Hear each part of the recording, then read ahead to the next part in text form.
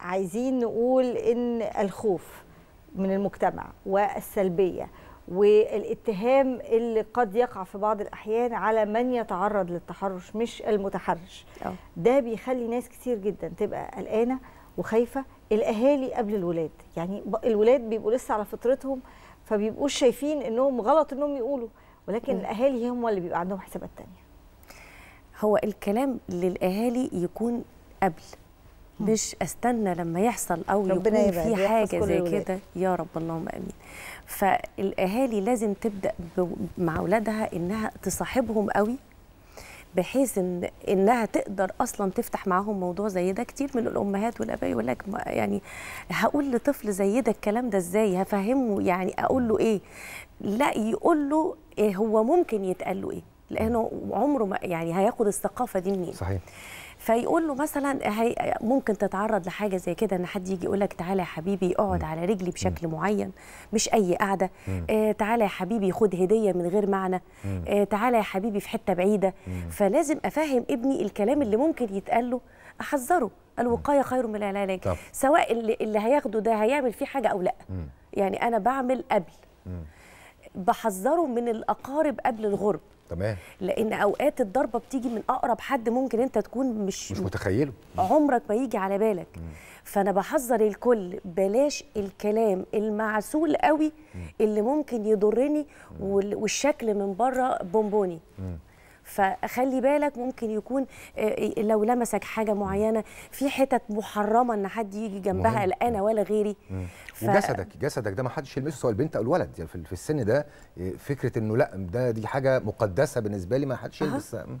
فالاستباحه إن أنا أعمل حاجات مثلا ألاعب ولادي بشكل معين إن أنا أنا نفسي ما ينفعش إن أنا أعمل حاجة زي كده. أو إن أنا أقرب لمناطق معينة أفهمه حدود جسمه إيه اللي هي بتاعته هو لوحده.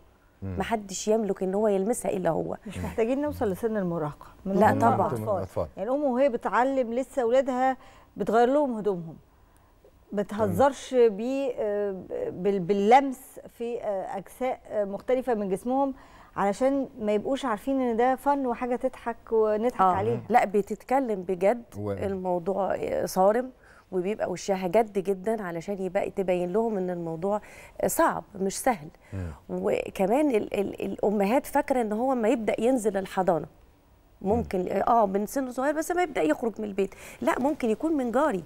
صحيح. ابني نازل يجيب حاجة من الشارع بيلعب مع أصحابه على السلم حاجات من دي. ممكن يكون من جار نازل حد من الدليفري نازل صحيح. حد من اللي جاي زيارة نازل طالع بيتعرض للكلام ده من قبل الحضانة. فأنا بفهمه وانس إن هو فهم وبدأ يخرج من إطار بيتي أو من إطار غرفتي. بالظبط يبقى عنده لأنه. ممكن يكون ضيف عندي وأنا ما أعرفش. طب دكتوره سمر ناس كتير جدا لما بتيجي سيرة ال- التحرش دماغها بتروح بس فكرة التحرش الجسدي اللي هو ال- ال- الملامسة يعني لكن التحرش ليه أنواع كتيرة جدا آه. وإحنا محتاجين حضرتك حتى نوعي الآباء والأمهات إنه اللفظ التحرش اللفظي ده طبعا. تحرش قد يكون أكثر عنفا من الجسدي آه.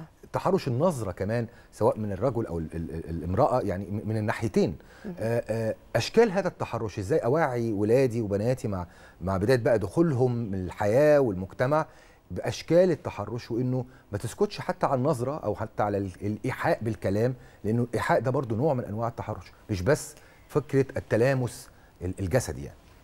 شوف هي في حاجتين ال- ال- الناس بتعملها فيه إن هي إيه يا إما بتخاف يا إما بتتكسف.